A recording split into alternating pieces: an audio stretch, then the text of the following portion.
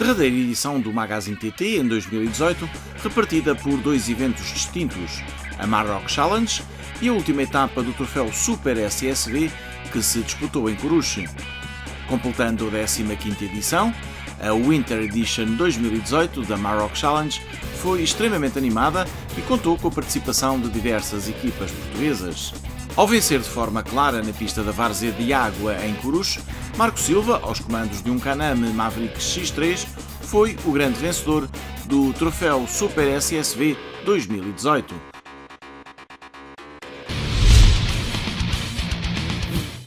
Completando a 15ª edição, a Maroc Challenge Winter Edition 2018 foi, tal como se esperava, inesquecível e os participantes enfrentaram uma das edições mais aventureiras da sua história. Mantendo a mesma filosofia das edições anteriores, com percursos adaptados para os distintos tipos de veículos, tração 4x2 e 4x4, o evento teve como grande novidade a redução da quilometragem das dificuldades para a categoria C1, a dos veículos 4x2 até 1300 cm3, em algumas etapas mais duras, enquanto que os veículos todo o terreno, pelo contrário, tiveram mais quilómetros de dunas na nova travessia do Erksheby. Pensada e programada para ser uma grande aventura, a Maroc Challenge arrancou da cidade de Midelt e ao longo de sete etapas levou a caravana através de Erfoud, Zagorá, Merzuga, Mengube para terminar na costa do Mediterrâneo, na turística cidade de Saidia, onde foi celebrada a grande festa de encerramento junto à praia.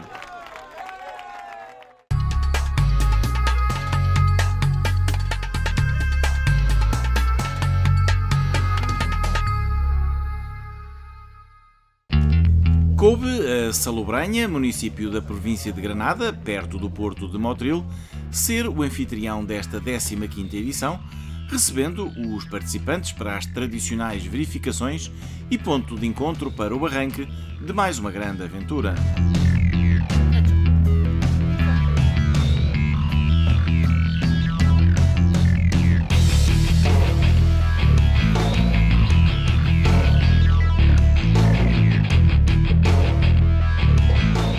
Dia seguinte, a ligação de barco entre Motril e Nador permitiu que os participantes se debruçassem, de uma forma mais pormenorizada, no programa que os esperava do outro lado do Mediterrâneo.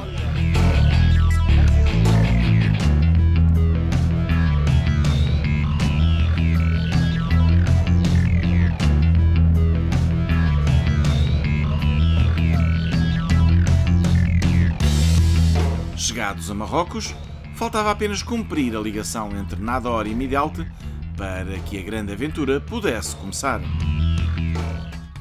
Etapa 1 Midelte Air Food, num total de 348 km e com 170 em off-road.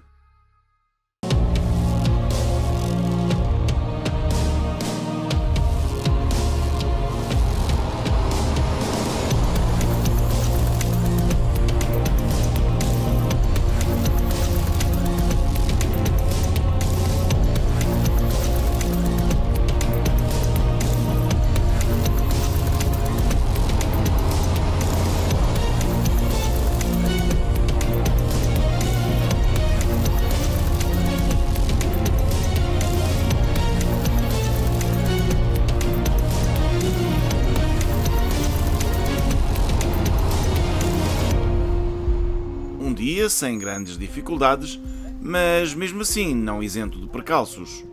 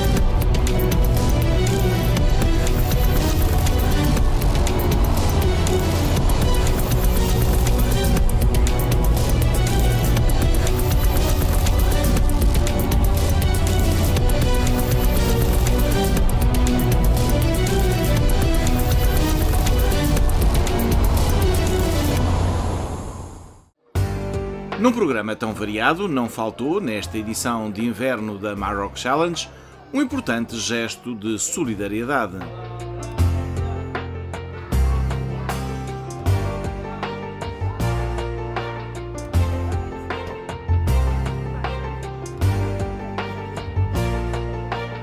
Trazemos umas caixas com que nos pediram cadernos, lápis de cera, eh, fiadeiras, lápis de cor, t-shirts, eh, bonés, eh, uma série de coisas, tudo relacionado para as crianças.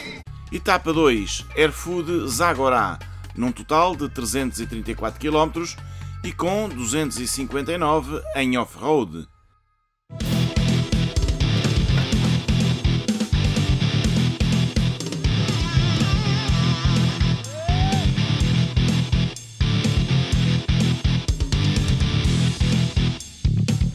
Um dia de muita areia, particularmente difícil para os automóveis, o que originou muitos atascanços, mas também muito espírito de entreajuda.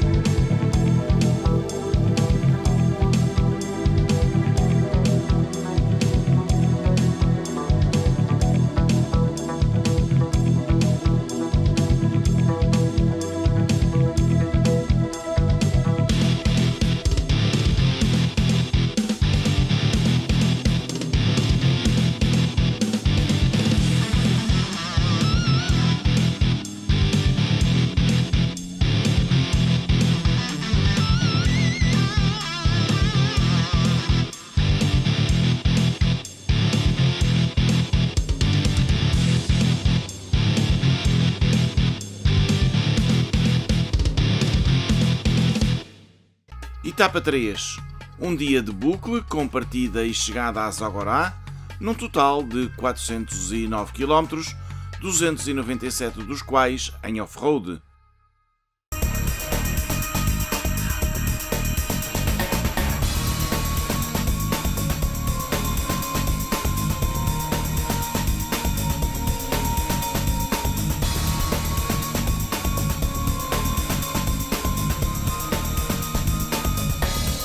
Mais um dia com muita areia e uma etapa, a mais longa desta Maroc Challenge, muito dura.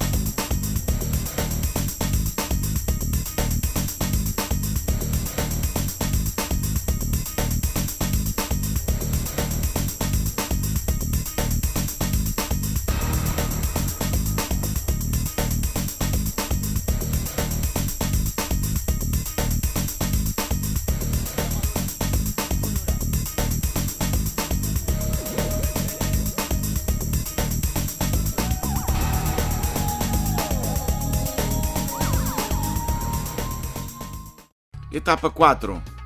Zagorá Merzuga, num total de 280 km e com 173 em off-road.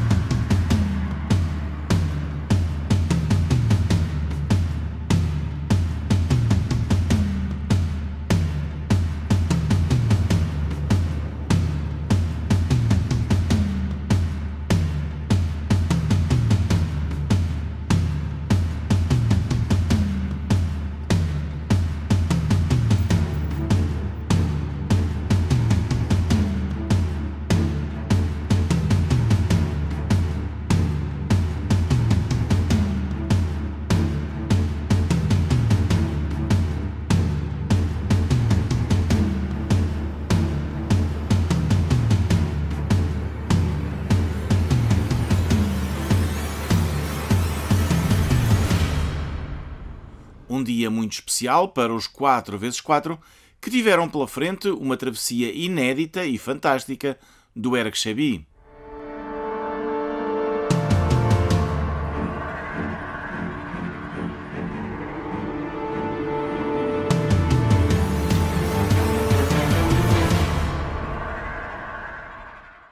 A etapa 5 ligou Merzuga a Mengube.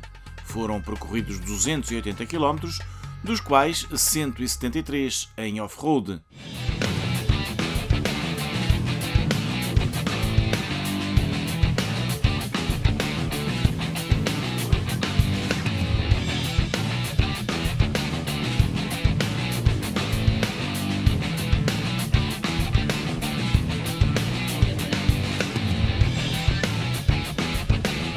Mais um dia com pistas de areia, mas também eh, com um percurso mais rolante. Uma etapa com um final inédito, já que pela primeira vez os participantes ficaram todos reunidos num bivouac.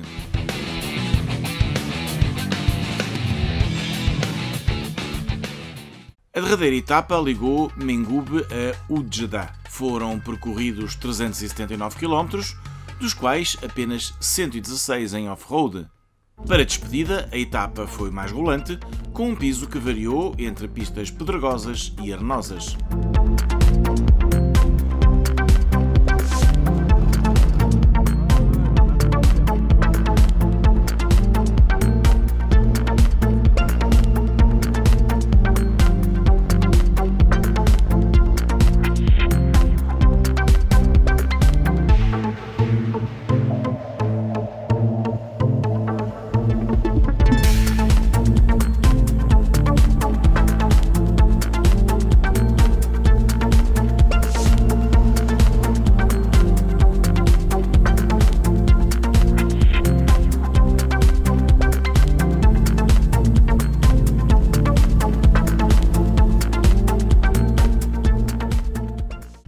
Final desta 15ª edição da Maroc Challenge Winter Edition 2018 é-nos agora feito por Rui Cabasso, que aproveita a ocasião para explicar o conceito e o espírito deste evento, que atrai cada vez maior número de participantes. Bem, foi uma edição muito, muito divertida, trazíamos algumas novidades, principalmente em relação ao percurso e, e a verdade é que saiu muito bem. Eu penso que todos os participantes estão muito contentes.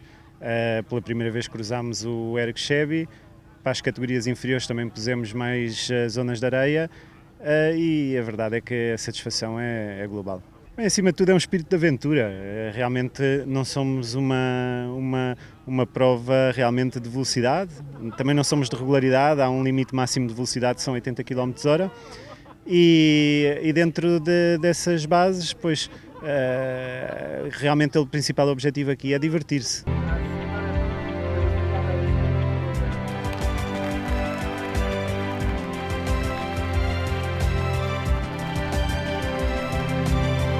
O derradeiro dia desta Maroc Challenge levou os participantes de Ujá até à praia de Saidia para a cerimónia de entrega de prémios e a foto de família de toda a caravana.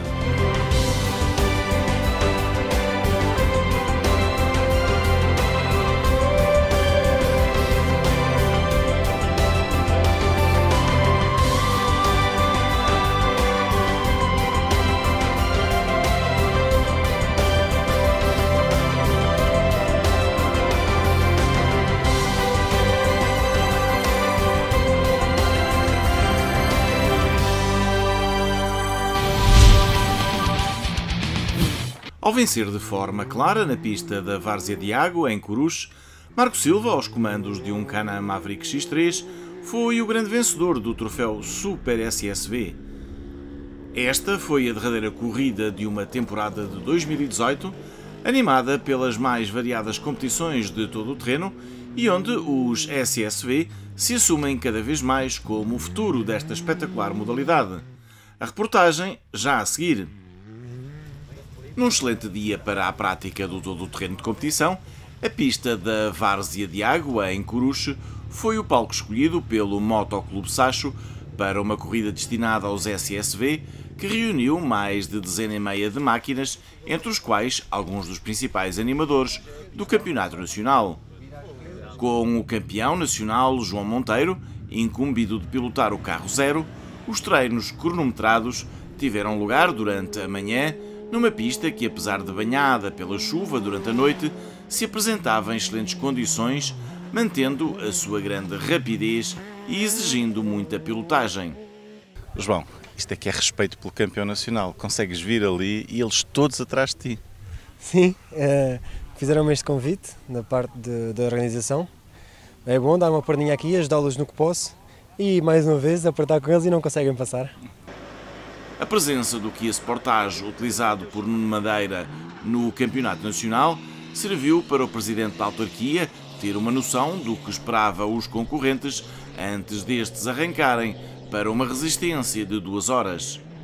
Que tal a emoção? Uh, é, é tudo, é total, a emoção é total, o piloto é extraordinário, a máquina tem um power, um poder brutal e, portanto, esta pista aqui, como ela está, uma pista molhada, enlameada, onde o carro foge para todos os lados, mas sempre no trilho, é de facto extraordinário. E só se sente esta emoção quando está lá dentro. Estar cá fora a ver não tem nada a ver com estar lá dentro.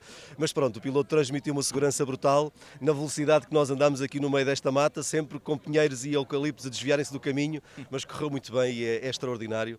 É um espetáculo, para quem gosta de facto deste tipo de desporto, é uma maravilha. Cumpridos os 45 minutos de treinos cronometrados, o melhor tempo foi alcançado por Marco Silva num Cana Maverick X3, que registrou 4 minutos e 31 segundos.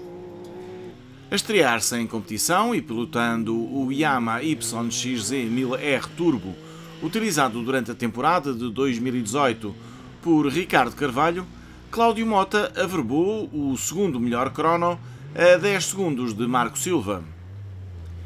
Terceiro mais rápido foi outro Cana Maverick X3, este da JB Racing, que para esta prova inscreveu o par Jorge Branco-Tiago Guerreiro. Tiveram como melhor registro 4 minutos e 43 segundos.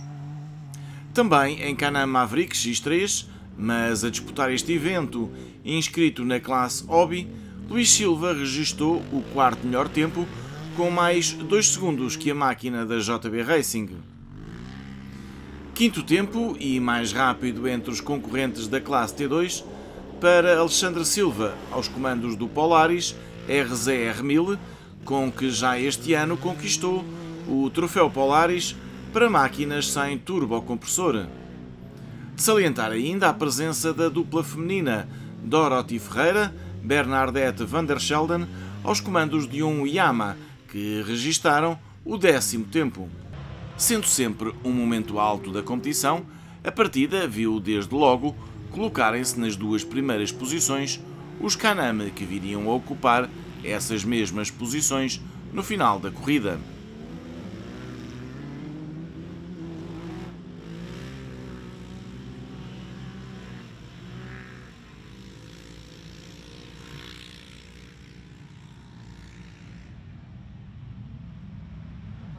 Depois de ter obtido a pole position, Marco Silva, o piloto do time Zilcar Racing, manteve-se na liderança, alargando a vantagem para os diretos adversários.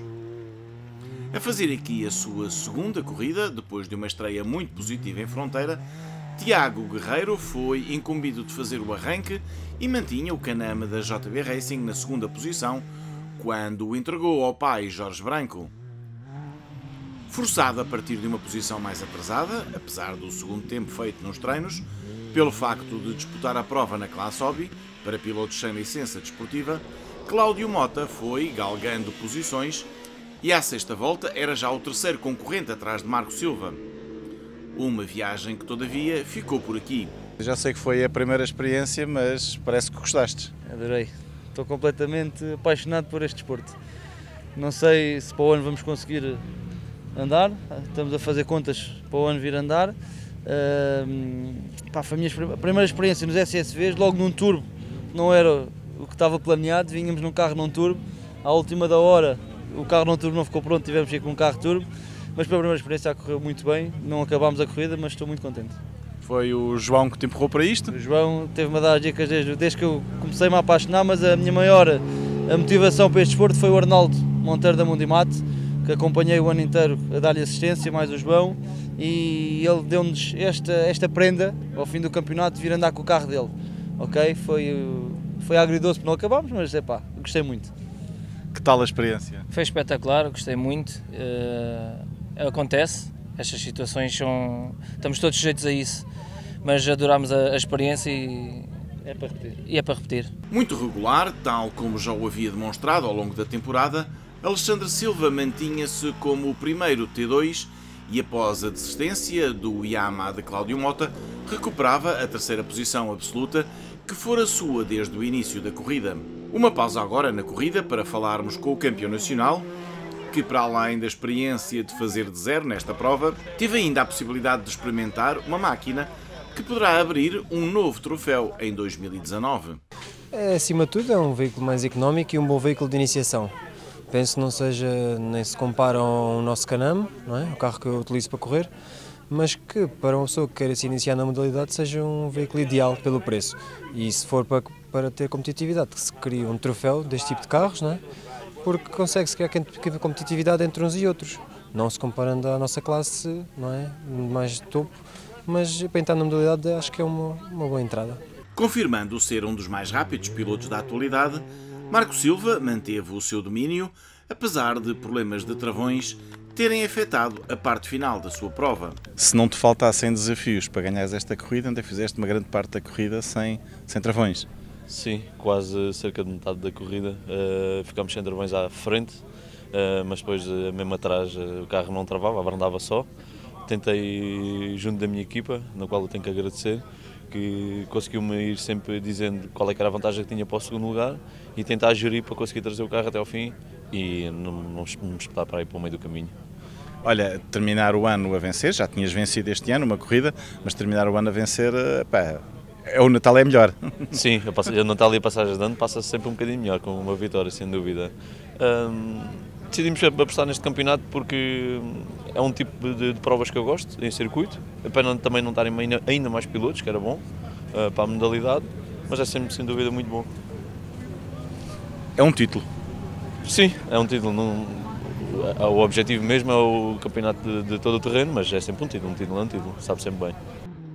Ao segundo lugar do pódio, subiram, no final da corrida, o pai, Jorge Branco, e o filho Tiago. Continuas aí a fazer as tuas experiências familiares. Ultimamente estas corridas têm sido sempre com filhos ao lado.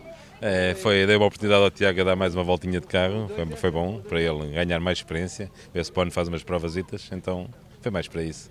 Que tal é que isto foi? Chegaste com os braços um bocado cansados. Venho um bocado cansado, o carro está a mandar muita porrada de frente, acabamos por pôr umas bolachas nas rodas que alargou muito o carro e então o carro não está como, como a gente gosta.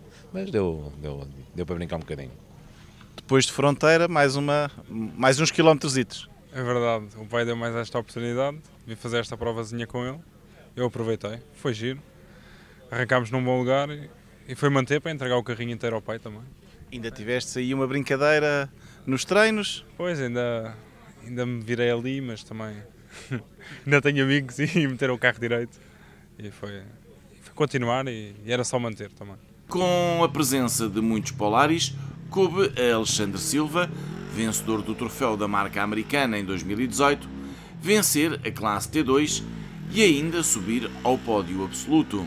Foi, foi uma corrida engraçada, eh, já tinha aqui feito o ano passado aqui a corrida e gostei bastante. E este ano, pronto, como já tínhamos o campeonato feito, para fechar o ano em grande, viemos aqui ganhar novamente a classe, fizemos terceiro à geral, foi bastante bom uh, para finalizar com os carros da frente um bocado inacessíveis, qual era a tua motivação? Era ir fazendo melhor ou ir levando o é carro é, até ao fim? Eu fui sempre a dar o melhor, como aqui pronto, era mesmo para fechar o ano, não tinha nada a perder, nada a ganhar, foi dar o meu melhor e ver até onde é que eu conseguia chegar. Aí estou bastante contente com a prestação minha e do carro. Quinto classificado absoluto, Nuno Moraes, completou o pódio da classe T1. A corrida que teve a X Adventure como entidade promotora e que contou com o apoio do município de Cruz, foi ainda aberta a participantes inscritos na classe Hobby. Luís Silva foi o melhor de entre os da classe T1 e Tiago Andrade o mais rápido na classe T2. Uma vitória é sempre uma vitória. Que tal é que estava a pista e como é que foi a corrida? Correu bem, podia ter corrido melhor. Logo no início tivemos uh, problema de aquecimento, tivemos que parar e tivemos um furo. Uh, portanto tivemos que parar duas vezes, podia ter corrido, podia ter corrido melhor. Mas pronto, ainda assim, correu bem. A pista estava bastante rápida, é uma pista engraçada. Estava, estava bastante rápida uh, e o terreno estava bom também. Satisfeito? Sim, dentro, dentro do possível. Tiago, uh, uma vitória, penso que também ganhaste uh, classe na, na, na, prova anterior, que tal? Uh, satisfeito? sim, satisfeito. estava um bocadinho duro, até porque eu hoje não vim com o meu carro, vim com um carro emprestado, não é igual, mas correu bastante bem. Foi gerir, foi tentar acabar, porque o carrinho é mais limitado, mas, mas penso que correu muito bem. Deu, deu para, para divertir e, e correu, correu andou bem. Depois de uma prova muito molhada e muito enlameada em maçã, agora teve muito melhor. Muito melhor, muito melhor. O, deu tréguas, a pista tinha bastante água, umas zonas estavam muito carregadas de água, mas o sol deu, secou parte e a passagem dos carros ficou, ficou espetacular. Ficou, ficou muito bom. Não teve nada a ver com maçã, embora a maçã tenha adorado também. Satisfeito? difícil, sim, sempre. Adérito Gato secundou Luís Silva entre os OBT1. A Júlio Mourão coube subir ao segundo lugar do pódio entre os OBT2. E fechamos esta reportagem com o balanço feito pela direção do clube organizador e pelo promotor do evento, neste caso particular de Cruz, a mesma pessoa. O balanço para mim para já é positivo. Uh, nós conseguimos cumprir na íntegra os calendários que tínhamos e, e, realmente eram bastante extensos. Estamos a falar que este ano a X Adventure promoveu essencialmente 23 uh, eventos, sendo que da Troféu Super SSV conseguimos fazer uh, três das que tínhamos programadas. Já temos algumas agendadas para 2019 mas uh, queríamos um pouco mais uh, e vamos trabalhar para que em 2019 possamos aumentar não só o paddock, como as condições, como os benefícios também para os pilotos. Nós uh, temos algumas, alguns truques na manga, como se costuma dizer, e vamos tentar em 2019 fazer algo para cimentar este troféu que, na minha ótica, é um troféu que tem tudo para dar certo e que poderá ser um complemento uh, tanto aos campeonatos nacionais e, e é para quem tem carros e que não tem onde andar, nós temos aqui pistas seguras e com todas as condições para tal. Depois de um, uma jornada bastante molhada, enlameada em mação, este foi este, este acordo com o São Pedro foi um bom fecho de temporada. Sem dúvida, portanto, nós já sabíamos que íamos ter uma noite com alguma chuva, que não nos assustou, até porque conhecemos bastante bem aqui o terreno. O terreno é um terreno arenoso que permite alguma, alguma água, é, tal como, como aconteceu, choveu durante a noite, mas que no dia é, manteve-se aqui um dia fantástico para fazer uma, uma, corrida, uma prova como, como nós gostamos de fazer e penso que os pilotos saíram daqui agradados e, com, e já com vontade de, de regressar aqui.